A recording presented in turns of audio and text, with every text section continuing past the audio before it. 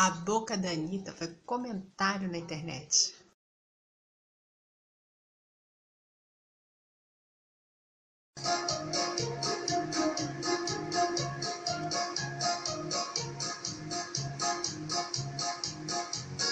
Olha, sinceramente, uma mulher bonita dessa, quem não gostaria de ter, né? Ave Maria. As fotos de um encontro com fãs promovido por Anitta depois do procedimento estético caíram na web e os internautas não perderam a oportunidade de alfinetá-la em memes.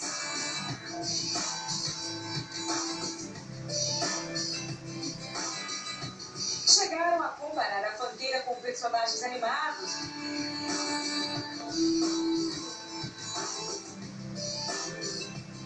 Com Daniela Sicarelli.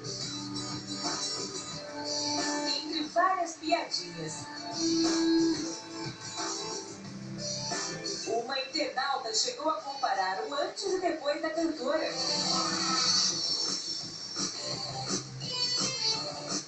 Ao ver seu nome no meio de tantas piadas, a fanqueira foi categórica e mandou uma indireta aos fãs. Eita, mas como tem gente chata no mundo, hein?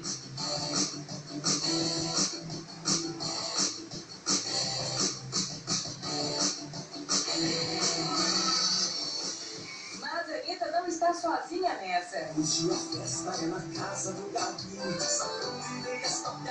Toda pra Quem não se lembra da repercussão que foi quando o sertanejo Tiago, da dupla Tumudo, apareceu com preenchimento nos lábios. Agora eu vou sorrir. A minha boca não é mais. Agora ficou bico de pato.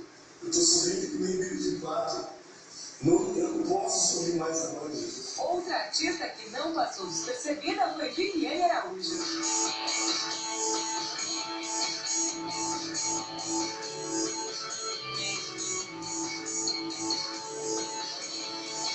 Anitta nunca escondeu de ninguém que nem tudo no seu corpo é natural. O que, que você fez? O que você ainda quer fazer? Fiz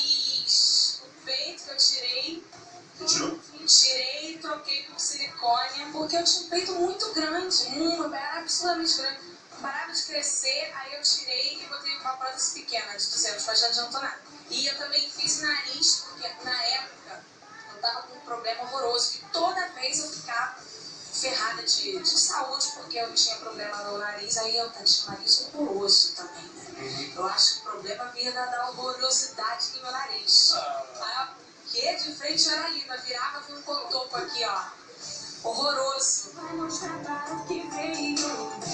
Que a gente vai mostrar para o que veio.